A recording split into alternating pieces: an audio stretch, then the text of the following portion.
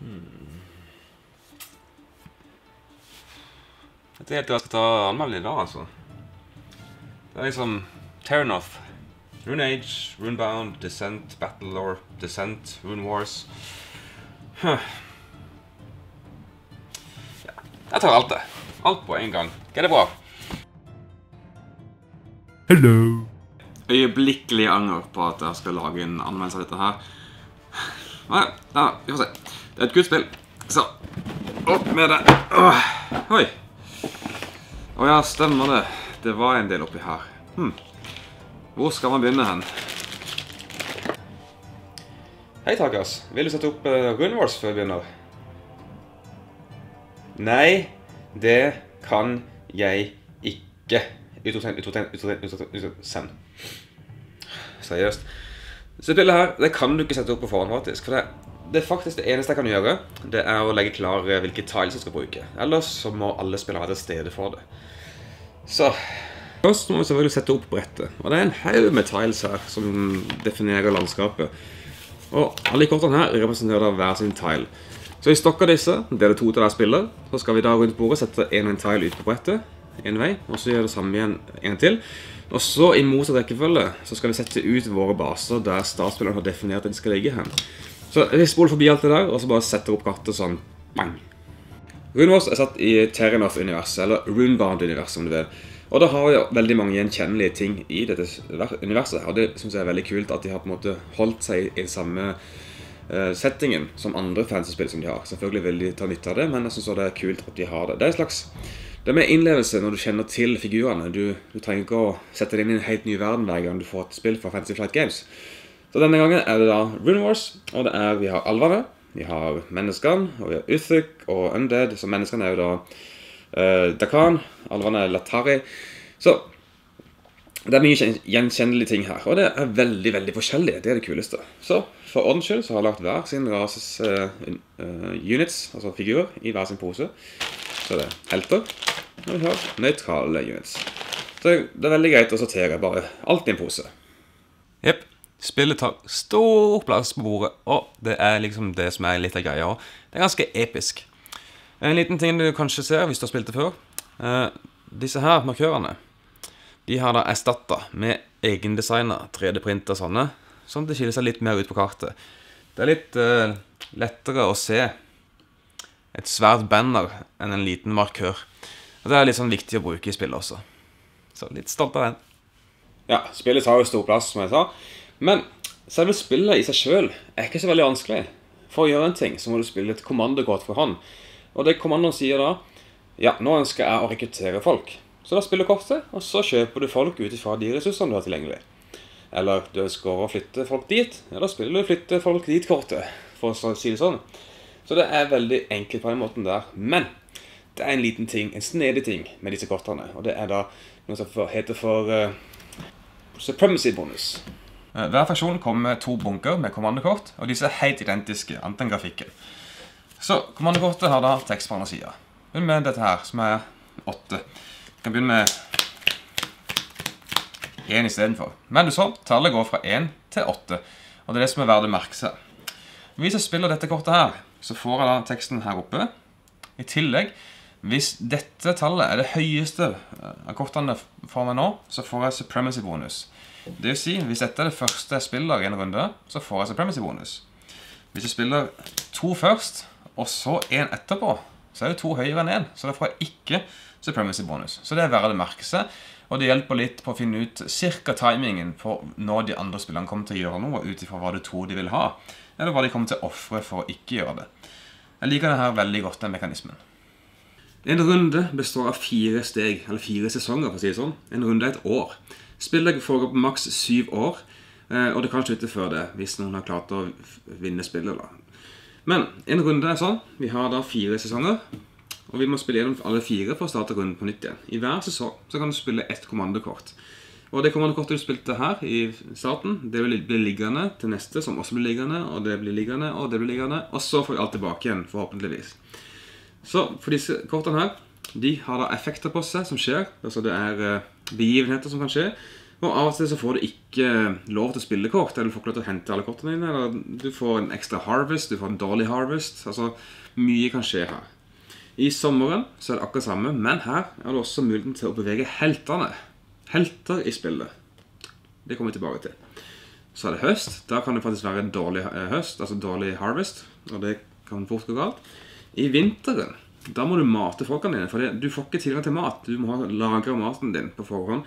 Hvis du kommer hit og ikke har nok mat i forhold til figurene på kartet, så vil du miste dem. Så nå planlegger jeg godt gjennom alle de fire fasene her. Og du vet på en måte litt hva din motstander kommer til å prøve på. Helter er sånne grå brikker som der, nøytrale, som alle kan få. Så de tilhører ikke noen spesiell fraksjon. Men de tilhører da en eh, ond eller god side, da, i utgangspunktet. Men de kan fort bytte side. Og hver helt kommer da med et sånt kort som viser hvilken statistikk de har. Disse vil da løpe rundt på kartet og fullføre quests som ser sånn ut. Og hvis du klarer å løse questet, så får du gjerne en bonus. Spillet handler ultimat altså, Det ultimate målet med spillet er å få tak i såkalte dragon runes. De er sånne tokens som ligger rundt omkring på brettet. Noen av de er falske, som den, mens noen er ekte, som den.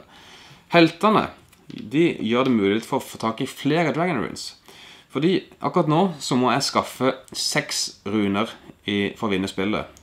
Og akkurat på kartet nå så er det kun tre. Så jeg må klare å manifestere flere sånne runer, ekte runer, og legge på området som jeg kontrollerer. For det er det spillet handler om. Det er å få tak i seks dragon runes. Altså ekte dragon runes, ikke, ikke sånn falske noen, sånn som, sånn som den her. Var det den som var falsk? Ja. Ikke sånne. Heltefasen er definitivt det som tar lengst tid i spillet. Men hver spiller kan ha tre helter hver, og alle skal gjøre ting. Og det er før du har gjort kommandokortet. Så sommeren er den lengste sesongen. Og det er egentlig ganske greit, for heltesesongen er ganske spennende. Se hva du klarer å få til. Om du klarer å sabotere for andre spillere, eller få tak i Quests. Det er mye som kan skje i heltefasen. Eh, så de er veldig viktige for spillet. Fordi du trenger Dragon Runes, du trenger items, du trenger å bli sterkere. Så det, de har klart å gjøre det en sånn slags minigame inne i spillet her som fungerer veldig bra. Og de kan faktisk delta i kamp hvis du tør. Så hva er kamp, da?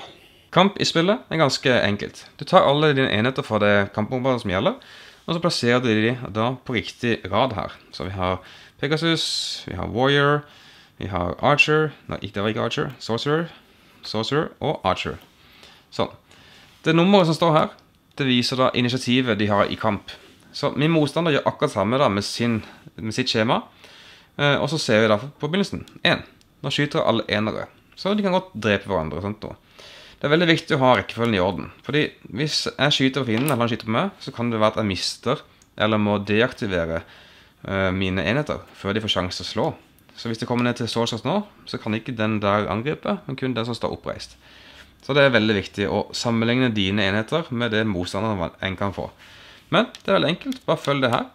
Og i slutten av en sånn omgang så ser vi hvem som vinner kampen. Og det er da mens mest stående units, egentlig. Ingen terninger her i gården. Her er det en bunke med kort som bestemmer om du treffer eller ikke. Så, si du har den, den figuren her. Det er en sånn eh, avlang firkant. Da ser du Ok, han angriper. Treffer han? Så ser vi her, etter den avlange firkanten. Nei, han traff ikke, men han fikk det til å trekke det unna, altså flagg. Hvis jeg hadde hatt en uh, sånn, sånn en nå, som angrep på det kortet her. Så har han tatt, gitt tre skade på en motstander.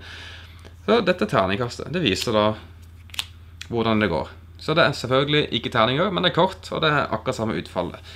Men hvis du klarer å huske kort som er spilt, da, så vil du vite på en måte hva som er igjen i bunka her. Derfor har jeg printet ut en sånn her, sånn skjema, som viser sannsynligheten for treff og flagg og spesialegenskap på de forskjellige tingene. Så den her er anbefalt hvis du har lyst til å spille det og og vite hva du går inn til uten å bli fortalt og huske det her. Så den er veldig fin. Rudvoss tar ganske lang tid å spille. Du må regne med fire timer i alle fall med tre spillere. Men det er helt greit. Jeg føler at den investeringen du bruker, er virkelig verdt det. For det, du er hele tida involvert i, og interessert i hva andre spillere gjør. Når du spiller et actionkort, så er det ikke så mye å tenke på når selve action kommer. Det er liksom det å spille actionkortet så gjør det som står. Men det er så mye å tenke på også med posisjonering. Eh, hva de andre spillerne kommer til å gjøre, om de andre spillerne krangler eller ikke krangler, om de har helter hos deg og sånt. Det er veldig veldig mye kjøtt på beina i spillet her, og jeg, jeg syns det er kjempeflott å spille. Problemet er at det tar litt tid, og det er litt vanskelig for bordet, fordi det tar litt tid. Men det er absolutt verdt det. Og ja, det er tusser og troll her, Og det er ikke terning, men det et slags terningssystem. Men spillet har så mye strategi i seg at jeg ikke ser på det som et sånn Ameritrash-spill, men heller litt mer taktisk og strategisk spill. Eh, som jeg, jeg, liker det veldig godt, og det, det, det, gir meg så mye tilbake igjen. Og det at hver rase har forskjellige egenskaper, totalt forskjellige egenskaper, det også spillet veldig interessant. Og alt er dynamisk her. Hvis jeg gjør dette, så vil jeg på en måte påvirke hva han og han kommer til å gjøre ut ifra mine handlinger. Og det er veldig mye interaksjon i spillet. Krigen er litt uh, spesiell med de terningene. Altså, det er jo ikke terninger, men det er jo terning altså, Det er akkurat samme mekanisme, bare med kort. Uh, eller samme utfallet. Så det funker, det også, for så vidt. Du vet nøyaktig oddsen for å få ting på kortet. Men det kan jo terning også. Du vet jo oddsen for å få en ener. Det er en, en sjettedels sjanse. Så det er litt merkelig, eller en merkelig bit, akkurat det. Uh, ellers så er det litt vanskelig å se forskjell på disse heltene, hvem som egentlig eier dem. For det, nå er det bare en figur der med en vanlig base under, og det er ingenting som sier at det er min. Og Det er også en litt sånn ulempe med spillet. Uh, spillet sjøl er veldig kult, men hvis du legger til utvidelsen Alltid en utvidelse, er det ikke det? så blir spillet faktisk mye bedre. Det legger til mye mer valg i utviklingsfasen når du skal kjøpe oppgraderinger til basen din. Og du kan få andre typer enheter som på en måte gir deg mer valg der også, og kan, du kan gjøre litt andre ting enn det du kunne før.